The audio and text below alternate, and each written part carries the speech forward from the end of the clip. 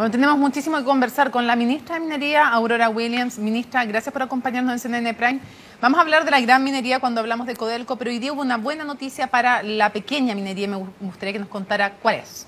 Bueno, muchas gracias. La verdad que hoy día fue un día muy especial porque tuvimos noticias para la gran minería, pero también para la pequeña minería, que muchas veces por la dimensión de la gran minería se invisibiliza.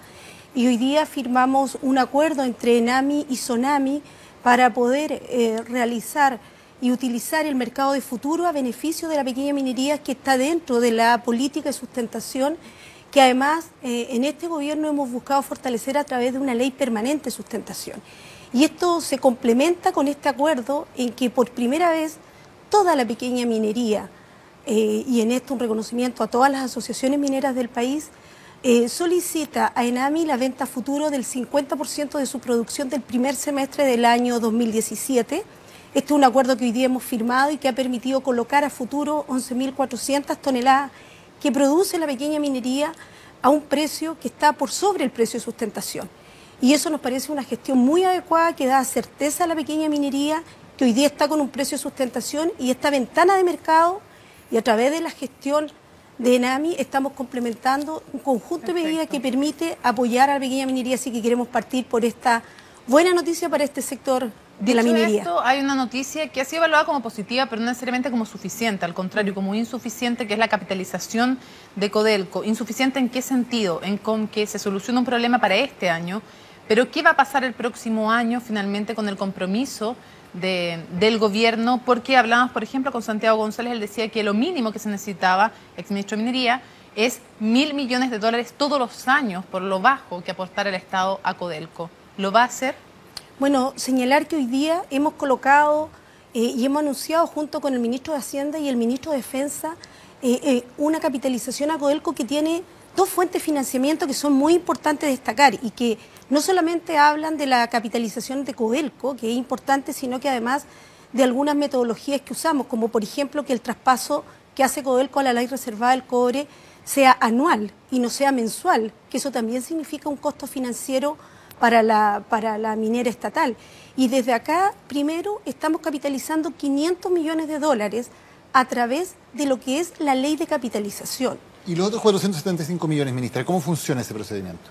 Primero quisiera señalar que la ley de capitalización fue uno de los primeros proyectos que, abordamos, eh, eh, que abordamos como gobierno y desde ese punto de vista señalar que por primera vez Codelco tiene una ley de capitalización plurianual. Y esa ley que era por cinco años y que vamos en el tercer año, que está respaldada por proyectos estructurales, lo primero que estamos eh, planteando es ampliarla a seis años. Eso es parte del proyecto de ley que va a tomar estos otros 475 millones de dólares y que en la práctica es tomar los fondos reservados de, la, ley reservada de cobre, llevarlo al Tesoro y retribuirlo, mitigar a Codelco a través de 475 millones de dólares, pero también señalar que lo que planteamos es en la práctica eh, la mitigación de la deuda que debe adquirir Codelco en razón de que no tiene excedentes y que por ende se endeuda para, para, que, para, que, se entienda. Perdón, la, y gente, la gente, puede no, entender correctamente lo que se dice acá. La plata él está obligado legalmente Codelco a pasarla al fondo eh, reservado, el fondo de la ley reservada del cobre. ¿Cómo es esto de mitigar esa entrega de plata, si eso está establecido por ley? ¿Cómo se hace esa mitigación, como se ha dicho, por 475 millones? Bueno, efectivamente está la ley reservada del cobre que establece que Codelco debe aportar el 10% de sus ventas y eso debe hacerlo independientemente del resultado.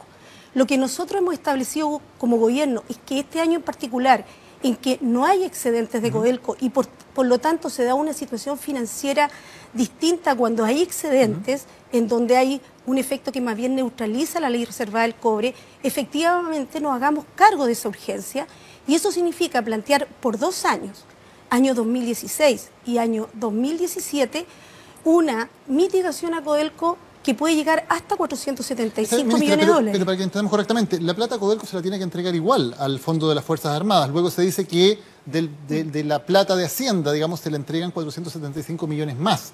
No se toca la ley reservada del cobre. Se, se le entrega sencillamente más dinero. A ver, se toca la ley reservada del cobre en dos aspectos. Uno, en que primero hay que obtener desde, desde los fondos de la ley reservada del cobre 475 millones que hoy día no hay espacio legal para retirarlo. Y lo que estamos haciendo es construyendo ese espacio para poder retribuir en 476, hasta 475 millones a Codelco, pero yo quiero insistir que esto lo hemos planteado para dos años. pero, ¿de dónde sale esa plata, esos 475 millones? A su vez, efectivamente están originados desde el aporte que hace Codelco a través de la ley reservada del cobre. Pero lo importante... ¿Y es legal? O sea, ¿se puede pasar desde la ley reservada del cobre Hacienda y de Hacienda a Codelco? Lo que estamos haciendo es presentar un proyecto, una modificación de la ley reservada del cobre que permita este espacio que no cabe duda que es un espacio de urgencia y que es el compromiso que en la práctica hemos, planteado por eso no es un parche a la ley? ¿Hasta cuándo se va a mantener esto de que no se aborda el fondo? Todos dicen, esta ley no es buena, hay que reformarla. Y sin embargo, está pasando otro gobierno en que la ley nuevamente se cambia. ¿Por qué solamente parches y no una solución definitiva? Yo lo que quiero señalar es que la ley reservada del cobre es mucho más que el financiamiento de Codelco, que es importante, que es urgente, que a mí particularmente tenemos una preocupación como gobierno desde el punto de vista de poder sostener la producción de cobre, eh, no solamente del país, sino que en particular de la minera pública.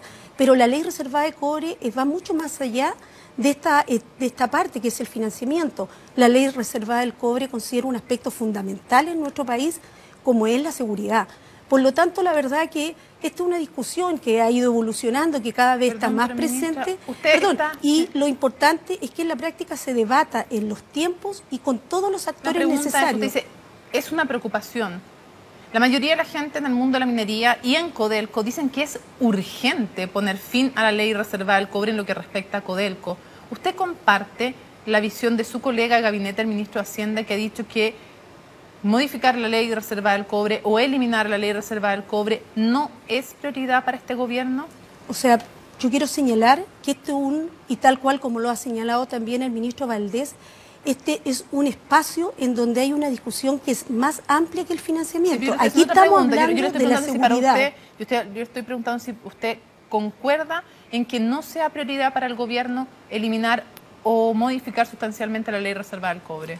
La respuesta a su pregunta es que efectivamente esto hay que discutirlo, pero hay que discutirlo en el sentido amplio de la palabra. Y para eso nosotros nos vamos a hacer cargo de lo que es factible y de, además de lo que hoy día nos representa una urgencia y que es en particular una situación financiera de no tener excedentes y tener que endeudarse para retribuir. Para nosotros es sumamente importante y por eso también lo hemos señalado y en eso quiero ser muy enfática que hemos planteado estos 475 millones de dólares adicionales a los 500 por dos años, porque vemos que el precio eh, en este ciclo efectivamente puede repuntar al año 2019, independientemente de la ventana de mercado que tenemos hoy le quiero preguntar por una información, una nota que aparece hoy en el diario electrónico El Mostrador, en que se dice que, en primer lugar, su nombre como ministra fue propuesta por el senador Alejandro Guillé para llegar al cargo y que eso, leo textualmente, ha implicado influencia en dicho ministerio para proponer instalar a personas de confianza de Guillé en esa repartición y hay un largo listado de personas que, según la versión del Mostrador, habrían sido instaladas en el ministerio no por sus competencias técnicas, sino por su cercanía al senador Guillé. ¿Es verdad eso? Bueno, primero señalar que es muy importante que todas las personas que trabajan en el Ministerio de Minería tienen las competencias para desarrollar sus cargos. Y desde ese punto de vista, eh, en particular, todas aquellas personas de confianza política que desempeñan cargos de esa naturaleza están desempeñando las labores que corresponden.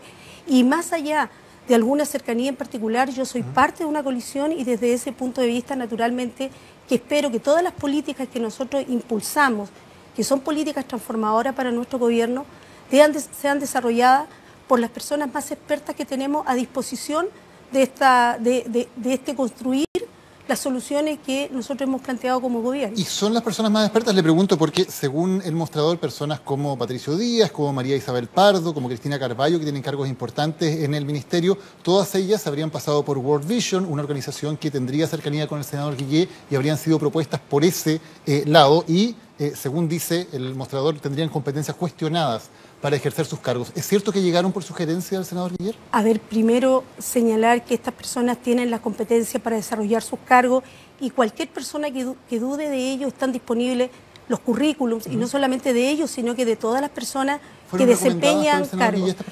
La verdad que yo creo que nosotros no podemos entrar a ámbitos de esa naturaleza porque aquí hay un equipo que naturalmente eh, tiene la confianza política con el respeto que, irrestricto que tenemos hacia la carrera funcionaria de todos los funcionarios cuando usted dice no quiero que entremos en ese ámbito, quiero entender bien si lo que usted está diciendo es no sería bueno hablar de eso o usted nos está diciendo que no los recomendó a esas personas Alejandro Guillé. La pregunta es súper concreta, si los recomendó o no, más allá de que usted encuentre que tiene las pertenencias Alejandro Guillé para estos puestos. Yo quiero señalar que yo tuve siempre los espacios para construir los equipos del Ministerio de Minería, no solamente el Ministerio de Minería, ah, sino que además de la institucionalidad pública. Y yo creo que llevar al debate de lo que es la experiencia de personas, a quien los recomienda, me parece que en realidad no es el espíritu. No, ministra? Porque más allá que usted haya tenido la libertad para designar o no, la pregunta es si los recomendó él o no. La verdad que yo no voy a entrar en lo que significa el cuestionamiento tanto curricular, así como de